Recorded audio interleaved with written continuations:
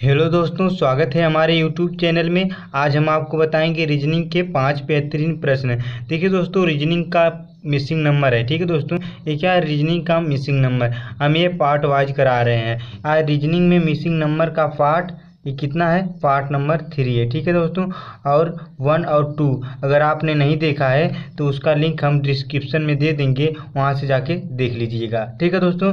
तो चलिए दोस्तों, वीडियो को स्टार्ट करते हैं। तो देखिए दोस्तों, पहले क्या दिया हुआ है? पहला क्वेश्चन देख लीजिए, क्या करना है हमें? लुप्त संख्या ज्ञात करना है। ठीक है? क्या करना है? लुप्त संख्या हमारी कौन सी है? देखिए, यहीं पर है? ठीक है? इसी को हमें सॉल्व करना है, चार ऑप्शन दिए हुए हैं। देखिए दोस्तों, क्या दिया हुआ है? चौदह दिया हुआ है, तेरह दिया हुआ है, पंद्रह दिया हुआ है और बारह दिया हुआ है, ठीक है? तो इन चारों में कुछ ऐसा करें कि बीच हमारी संख्या कोई एक आ जाए। देखिए दोस्तों, इनमें से कोई एक संख्या आ जाए। तो हम क्या करेंगे? फटाफट अगर आप इन्हें जोड़ेंगे तो इनमें से कोई एक ऑप्शन नहीं आएगा, ठीक है दोस्तों? और माइनस भी करेंगे तो कोई नहीं आएगा। तो क्या करेंगे? इन चारों का गुड़ा भी करेंगे तो बिल्कुल नहीं आएगा। तो अब क्या हो गया? जोड़ हो गया गुड़ा हो गया। घटाना भी हो गया। तो अब क्या करेंगे? हम इसका वर्ग करेंगे। देखिए दोस्तों, पहले बारह का वर्ग करते हैं। बारह का वर्ग हो जाएगा, प्लस तेरह का वर्ग हो जाएगा, प्लस चौदह का वर्ग हो जाएगा, प्लस पंद्रह का वर्ग हो जाएगा। देखिए दोस्तों, हो गया ना बारह, तेरह, चौदह, पंद्रह का वर्ग। ठीक है, अब क्या करेंगे? बारह का वर्ग कितना होता है? एक सौ चौवालीस, प्लस तेरह का वर्ग कितना होता है? एक सौ उनहत्तर प्लस एक चौदह का वर्ग कितना होता है? एक सौ छियानवे होता है और पंद्रह का वर्ग कितना होता है? दो सौ पच्चीस होता है। ठीक है दोस्तों? कितना होता है? दो सौ पच्चीस। अब हम इन सबको ऐड कर लेंगे। ठीक है? इन चारों को ऐड करेंगे तो कितना आ जाएगा? सात सौ चौंतीस आएगा। कितना आएगा? सात सौ चौंतीस। किस ऑप्शन में दिया? ऑप्शन नंबर सी में दिया है। तो ऑप्शन नंबर सी हमारा से हो जाएगा। तो चलिए दोस्तों, चलते अपने अगले क्वेश्चन पर। क्वेश्चन नंबर दूसरा, देखिए दोस्तों, क्वेश्चन नंबर दूसरे में क्या करना है? इसमें भी हमें लुप्त संख्या ज्ञात करना है। लुप्त संख्या हमारी यहीं पर दी हुई है, ठीक है?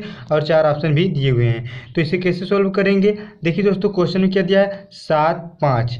सात पाँच में कुछ ऐसा करें कि यहाँ पर छः आ जाए और पाँच और इक्कीस में करें कुछ ऐसा कि यहाँ पर तेरह आ जाए। तो जो स्टेप इनमें हम अपनाएँगे, वही स्टेप इसमें भी अपनाएँगे। तो हमारा मिसिंग नंबर आ जाएगा। ठीक है दोस्तों, क्या करेंगे? देखिए, अगर सात और पाँच को जोड़ेंगे तो कितना आ जाएगा? बारह। तो यहाँ पर कितना दिया हुआ है? छः दिया हुआ है। अगर हम सात में से पाँच को माइनस करेंगे तो कितना आ जाएगा? दो आएगा। यहाँ पर कितना दिया हुआ है? छः है। ठीक है दोस्तों, आने की स्टेप बिल्कुल गलत है। तो क्या करेंगे? देखिए दोस्तों, जोड़ और घटा के तो देख लिए, अब क्या करते हैं? इन दोनों को जोड़ लेते हैं। इन दोनों को जोड़ेंगे तो कितना हो जाएगा? बारह हो जाएगा, ठीक है? और इसमें क्या करेंगे? दो से भाग दे देंगे। दो से भाग दे देंगे तो कितना आ जाएगा? छः आ जाएगा। देखिए दोस्तों छः आ गया, ठीक है? क्या किए? सात और पाँच को जोड़ दिए और उसमें दो से भाग दे दिए तो हमारी संख्या छः आ गई, ठीक है दोस्तों? उसी प्रकार इसे करेंगे। पाँच और इक्कीस को जोड़ देंगे तो कितना आ जाएगा? छब्बीस आ जाएगा, ठीक है दोस्तों? छब्बीस आ जाएगा और छब्बीस में दो से भाग देंगे तो कितना आ जाएगा? तेरह आ जाएगा। तो देखिए दोस्तों, यहाँ पर तेरह आ गया, ठीक है? अब उसी प्रकार इसे करेंगे, इक्कीस और सात। इक्कीस और सात कितना होता है? अट्ठाईस। अट्ठाईस में दो से भाग देंगे तो कितना आ जाएगा? आ जाएगा चौदह। यानी कि मिसिंग नंबर क्या है हमारा? चौदह। ऑप्शन नंबर डी में दिया है चौदह। तो ऑप्शन नंबर डी हमारा सही हो जाएगा। तो चलिए दोस्तों, चलते अपने नेक्स्ट क्वेश्चन पर। क्वेश्चन नंबर तीसरा, देखिए दोस्तों क्वेश्चन नंबर तीसरे में क्या करना है? हमें लुप्त संख्या ज्ञात करना है, ठीक है? देखिए लुप्त संख्या हमें कौन सी ज्ञात करना है? इसे ज्ञात करना है, ठीक है? तो हम क्या करें? देखिए दोस्तों, हम क्या करें कि ए वाली संख्या आ जाए। तो हमें क्या करना है? इन दोनों में कुछ ऐसा करना है कि, ठीक है दोस्तों, कि ए वाली संख्या प्राप्त हो। ठीक है दोस्तों, इन दोनों में कुछ ऐसा करना है कि ए वाली संख्या प्राप्त हो, तभी हमारा मिसिंग नंबर आ पाएगा। ठीक है दोस्तों तो क्या करेंगे? चलिए इसे सोल्व करते हैं। कैसे सॉल्व करेंगे? देखिए दोस्तों, चार और छः को आपस में जोड़ेंगे तो कितना हो जाएगा? दस होगा। यहाँ पर दिया कितना है? नौ दिया है। यानी कि यह स्टेप बिल्कुल गलत है। अगर मान लीजिए हम छः में से चार को घटाते हैं तो कितना आ जाएगा? दो आ जाएगा। ये भी स्टेप बिल्कुल गलत है। ठीक है दोस्तों? अब क्या करेंगे कि, देखिए दोस्तों, जोड़ और घटा के तो देख लिए। अब गुड़ा करेंगे तो कितना आ जाएगा? छः में चार से गुड़ा करेंगे तो चौबीस आएगा। तो यहाँ पर कितना दिया हुआ है? नौ दिया है। यानी कि ये भी स्टेप बिल्कुल गलत है। ठीक है दोस्तों, जोड़ के, घटा के गुड़ा करके हमने देख लिया। अब क्या करेंगे? अब देखिए दोस्तों छः का वर्क कर देते हैं। छः का वर्ग करेंगे तो कितना जाएगा? छत्तीस आएगा, ठीक है? अब छत्तीस आ गया, अब चार का वर्ग नहीं करेंगे, ठीक है दोस्तों? चार का वर्ग नहीं करेंगे। छत्तीस में हम क्या करेंगे? चार से भाग दे देंगे। छत्तीस में हम चार से भाग देंगे कितना आ जाएगा? नौ आ जाएगा। देखिए दोस्तों, नौ आ गया, ठीक है? हमने क्या किया? छः का वर्ग किया और चार से भाग दे दिया। छः का वर्ग कितना होता है? छत्तीस। छत्तीस में हमने चार से भाग दिया तो नौ आ गया। यानी कि पहला स्टेप सॉल्व हो गया। ठीक है दोस्तों, अब क्या करेंगे? दूसरे वाले को सॉल्व करेंगे इसी तरह से। तो इसमें क्या करेंगे दोस्तों? देखिए, अगर इसमें क्या करेंगे? बारह का वर्क करेंगे, ठीक है दोस्तों? क्या करेंगे? बारह का वर्क करेंगे। तो बारह का वर्क करेंगे तो कितना आ जाएगा? एक सौ चौवालीस आएगा, ठीक है दोस्तों? कितना आएगा? एक सौ चौवालीस। और एक सौ चौवालीस में हम क्या करेंगे? नौ से भाग दे देंगे, ठीक है दोस्तों? तो कितना आ जाएगा? सोलह आएगा। कितना आएगा? सोलह आ जाएगा। तो देखिए दोस्तों, यहाँ पर आ गया सोलह। आने की यह स्टेप बिल्कुल सही है, ठीक है दोस्तों?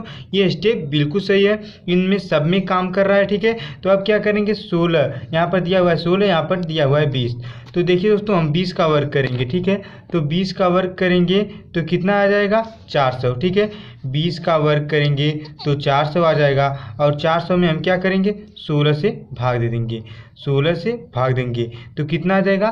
पच्चीस आएगा। कितना आएगा? पच्चीस आएगा। तो देखिए दोस्तों क्वेश्चन मार्क के स्थान पे क्या भरा जाएगा? पच्चीस भरा जाएगा। और किस ऑप्शन में दिया? ऑप्शन नंबर बी में दिया है। तो ऑप्शन नंबर बी हमारा सही हो जाएगा। देखिए दोस्तों, आप सोलह में चार सौ से भाग करके देख लीजिएगा, पच्चीस ही आएगा। ठीक है? तो चलिए दोस्तों, चलते अपने अगले क्वेश्चन पर। क्वेश्चन नंबर चौथा। देखिए दोस्तों, क्वेश्चन नंबर चौथे में क्या करना है? लुप्त संख्या ज्ञात कीजिए। क्या करना है लुप्त संख्या ज्ञात करना लुप्त संख्या कहाँ पर? है यहाँ पर है। ठीक है दोस्तों तो इसे कैसे सोल्व करेंगे? बहुत ही आसानी से, मात्र कुछ ही सेकेंड में। देखिए दोस्तों, इस टाइप के प्रश्न ट्रिक से नहीं सॉल्व होते हैं। थोड़ा सा माइंड लगाइएगा तो ऐसे प्रश्न आपको बहुत ही आसानी से आ जाएँगे। तो देखिए दोस्तों, पहले क्या करेंगे? हमें क्या करना है? इसे सोल्व करना है, ठीक है? इसे सोल्व करना है। तो क्या करेंगे? पाँच और चार और नौ। ठीक है? तो हम क्या करते हैं? ऊपर, देखिए जो ऊपर वाली संख्याएँ दी हुई है, कुछ ऐसा करते हैं कि ये भी आ जाए और ए भी आ जाए, ठीक है? ऊपर ही में कुछ ऐसा करते हैं कि नीचे वाली संख्या ए भी आ जाए और ए भी आ जाए।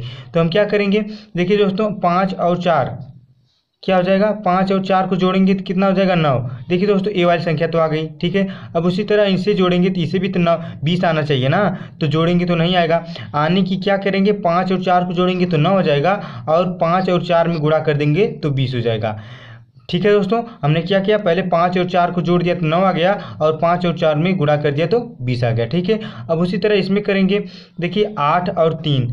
ठीक है दोस्तों, आठ और तीन को जोड़ेंगे तो कितना आ जाएगा? ग्यारह आ जाएगा और ग्यारह आ जाएगा। ठीक है दोस्तों, फिर क्या करेंगे? आठ में तीन से गुणा करेंगे तो चौबीस आ जाएगा। यानी कि स्टेप बिल्कुल सही है। ठीक है दोस्तों, अब इसी तरह इसमें करेंगे। नौ और चार को जोड़ेंगे तो कितना आ जाएगा? तेरह। देखिए दोस्तों, तेरह आ गया। क्या करेंगे इसमें? नौ और चार का गुणा करेंगे तो कितना आ जाएगा? छत्तीस आ जाएगा। यानी कि मिसिंग नंबर पर क्या भरा जाएगा? छत्तीस भरा जाएगा। किस ऑप्शन में दिया? ऑप्शन नंबर सी में दिया। था ऑप्शन नंबर सी हमारा सही हो जाएगा। तो चलिए दोस्तों, चलते अपने नेक्स्ट क्वेश्चन पर। क्वेश्चन नंबर पाँचवा देखिए दोस्तों, क्वेश्चन नंबर पाँचवें में क्या दिया है? लुप्त संख्या ज्ञात करना है इसमें भी हमें, ठीक है दोस्तों? तो लुप्त संख्या हमारे यहीं पर है, इसी को हमें सॉल्व करना है और चार ऑप्शन दिए हुए हैं। तो इसे कैसे सॉल्व करेंगे? देखिए दोस्तों, ऐसे प्रश्न हमने आपको सॉल्व कराए होंगे। तो अगर ऐसे प्रश्न आपको नहीं आते हैं तो हमारे चैनल में जाके देख लीजिएगा, ठीक है? इस टाइप के क्वेश्चन आपको मिल जाएँगे। तो इसे कैसे सॉल्व करेंगे? इस तरह इस तरह से सॉल्व करेंगे। ऊपर से नीचे, ऊपर से नीचे, इस तरह से, ठीक है? क्योंकि बड़ी संख्याएँ नीचे दी हुई हैं, ठीक है? क्या दी हुई हैं, बड़ी संख्या नीचे दी हुई हैं। तो आप क्या करेंगे? देखिए दोस्तों, हम इसे इन दोनों को आपस में कुछ ऐसा करें कि 120 ही आए, ठीक है? तो आप क्या करेंगे? अगर हम इसे जोड़ेंगे या घटाएँगे या गुड़ा करेंगे तो 120 तो नहीं आएगा। आपको जायज़ पता है, ठीक है दोस्तों? तो अब क्या करेंगे? एक का वर्क करेंगे और ग्यारह का वर्क करेंगे। यानी कि ग्यारह का वर्क कर देते हैं और एक का वर्क करते हैं, ठीक है? एक का वर्क करेंगे। तो ग्यारह का वर्क कितना होता है दोस्तों? एक सौ इक्कीस होता है, ठीक है? एक सौ इक्कीस होता है और एक का वर्क कितना भी हो, हमेशा एक ही रहता है। तो आप क्या करेंगे? 121 में से माइनस एक कर देंगे तो कितना आ जाएगा? 120 आ जाएगा। देखिए दोस्तों आ गया हमारी संख्या 120 ये वाली। हमने क्या किया? ग्यारह का वर्क किया, ठीक है दोस्तों? हमने ग्यारह का वर्क किया और एक का वर्क किया। तो ग्यारह का वर्क किया तो एक आया, ठीक है दोस्तों? और उसमें से क्या कर दिया हमने? एक का वर्क को माइनस कर दिया तो ये आ गया एक उसी प्रकार इसे सोल्व करते हैं। सात का वर्क करेंगे, ठीक है दोस्तों? तो कितना आ जाएगा? उनचास आएगा ठीक है? और दो का वर्क करेंगे तो कितना आ जाएगा? चार। यानी कि उनचास में से माइनस चार करेंगे तो कितना आ जाएगा? पैंतालीस आ जाएगा। तो देखिए दोस्तों, यहाँ पर पैंतालीस आ गया, ठीक है? आने की स्टेप बिल्कुल सही है। तो अब क्या करेंगे? पाँच का वर्ग करेंगे आने पाँच का वर्ग पच्चीस होता है और तीन का वर्ग कितना होता है? नौ, ठीक है? तो अब क्या करेंगे? पच्चीस में से नौ माइनस करेंगे तो कितना आ जाएगा? सोलह आ जाएगा, ठीक है दोस्तों? किस ऑप्शन में दिया, ऑप्शन नंबर बी में दिया तो ऑप्शन नंबर बी हमारा से हो जाएगा। तो मैं उम्मीद करता हूँ कि पाँचों प्रश्न आपको बहुत ही बेहतरीन तरीके से समझ में आ गए होंगे। अगर वीडियो पसंद आई हो तो लाइक और सब्सक्राइब ज़रूर कीजिएगा। तो आज के लिए इतना ही, मिलते हैं आपको नेक्स्ट वीडियो में। नेक्स्ट कॉन्सेप्ट के साथ।